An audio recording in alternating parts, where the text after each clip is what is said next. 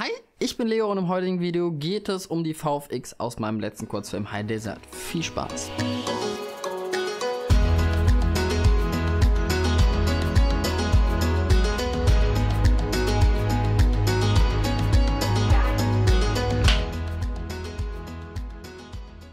wir haben in keinem vorherigen Lebimonian-Projekt wirklich groß VFX gemacht. Ich habe vielleicht hier mal was entfernt, aber dann hört das Ganze auch schon auf. Bisschen rumgespielt am Computer hat, glaube ich, jeder schon mal, der eine Zeit lang Film gemacht hat. Aber groß was gemacht hatten wir noch nicht ich war immer und bin nach wie vor Fan, alles praktisch zu machen, was halt irgendwie geht. Nur als ich High Desert geschrieben habe, wurde mir relativ früh klar, okay Leo, an einigen Stellen schaffst du es nicht, das praktisch zu machen, da musst du am Computer dran. Viele Sachen konnten wir dann praktisch bzw. teilpraktisch machen, das waren dann kleinere Masken auf Jobs ähm, oder überwiegend geschickte Schnitte einfach. Zwei große VFX-Baustellen gab es aber. Aber bevor wir damit jetzt anfangen, ein kurzer Disclaimer. Ich bin kein VFX-Experte. Ich bin ein Filmemacher Allrounder. Ich habe ein bisschen Ahnung von äh, Visual Effects, aber wirklich nur sehr, sehr klein. Ich teile in diesem Video meine Herangehensweise. Falls irgendjemand von euch weiß, wie man das Ganze effizienter, besser ähm, gestalten könnte, gerne damit konstruktiv unten in die Kommentare. Aber ansonsten würde ich jetzt einfach mal anfangen. Baustelle Nummer 1 war Szene 2, der schwarze Raum. Den habe ich aus Molton gebaut, weißes Tuch drüber. Die Idee war, möglichst viel Licht reinzubauen und den Rest dann einfach in die Post zu schieben. War eine super blöde Idee, weil ich wollte einfach nur in der Post das Schwarz runterziehen und der Rest sollte sich eigentlich von alleine erledigen.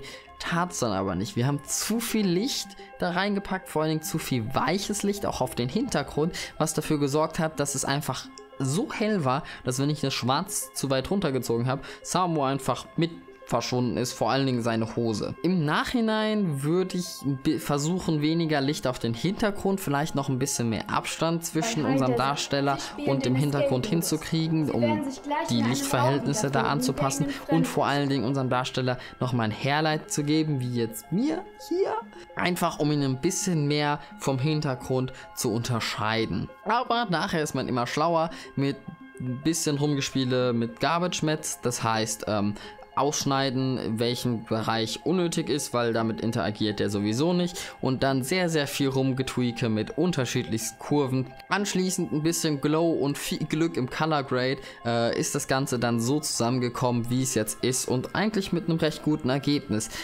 Eine kleine Subbaustelle gab es dabei noch und zwar hatte unser Darsteller zwei verschiedene Socken an. Die eine davon war schwarz. Die hast du schon am Set kaum gesehen, wenn er auf dem Molton stand. Deswegen war uns klar, die würde komplett runterfallen. Das wollte ich aber nicht. Ich wollte auch, dass seine Socke diesen Glow bekommt und habe deswegen am Set dran gedacht, ein grünes Tuch drunter zu legen, konnte dadurch seinen Fuß ausschneiden und komplett separat betrachten, was das Ganze deutlich einfacher gemacht hat. Blöderweise haben wir zwei Totalen drin. In einer habe ich das mit dem Socken gemacht, im anderen habe ich es leider nicht gemacht, deswegen äh, verschwindet sein Socken auf magische Art und Weise. Die zweite große Baustelle war die deutlich spektakulärere äh, Baustelle, weil wir da mit Greenscreen gearbeitet haben, und zwar Szene 6, das Verschwinden der Möbel. Ich finde es toll, wie ich so Star Wars-mäßige Namen für unsere Szenen gefunden habe. Wir haben leider nur einen sehr, sehr, sehr schlechten Greenscreen, den ich irgendwann mal bei meinem allerersten Fotosetup war der dabei. Und ähm, wir haben mittlerweile deutlich besseres Equipment ansonsten, aber dieser Greenscreen ist halt noch uralt, weil wir ihn kaum benutzen. Und dann war ich so, okay, gut, versuchen wir es halt damit. Ähm, wir haben den vernünftig gespannt, wir haben den vernünftig ausgeleuchtet, aber die Kamera hat so flach aufgezeichnet, dass ich einfach kein Key greifen konnte. Ähm, das Problem habe ich einfach gelöst, indem ich einen Proxy mit äh, ein bisschen leichten Grade und vor allen Dingen ordentlich geboosteten Grün drüber gelegt habe und das Ganze dann äh, von diesem Proxy gearbeitet habe.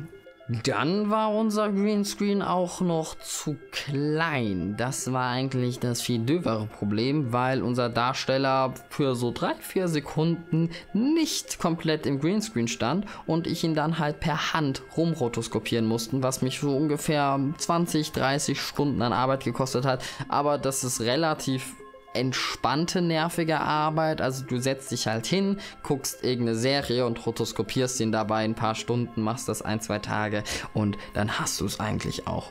Das Ganze war leider nicht perfekt. An einigen Stellen sieht man es, aber da hatte ich dann einfach keinen Bock, nochmal mich drei, vier Stunden hinzusetzen und einfach nur diese fünf Frames anzupassen, damit man das da nicht sieht. Als ich den dann rotoskopiert hatte, habe ich einfach nur noch den Greenscreen Key gezogen, habe den Hintergrund transparent gemacht, was man jetzt auch hier hinter mir sieht und anschließend ähm, den Hintergrund drunter gesetzt, da das Timing ein bisschen abgepasst, bis es so gepasst hat mit seiner Drehung und fertig war die Szene. Alles andere war zum Glück praktisch und wird vermutlich auch in Zukunft eher praktisch bleiben, weil mir aufgefallen ist, dieses für VFX schießen macht glaube ich extrem Spaß, aber nur wenn du jemand hast, dem das auch richtig, richtig Spaß macht. Mir hat das hier und da, habe ich mich auch mal drauf gefreut, jetzt ein bisschen das zu machen, ein bisschen Abwechslung, aber insgesamt war das doch mehr ein Kampf als eine Freude, die ganzen VFX zu machen und das Schießen davon dauert einfach viel, viel länger, als wenn ich es praktisch mache. Und viele Sachen gehen halt auch einfach.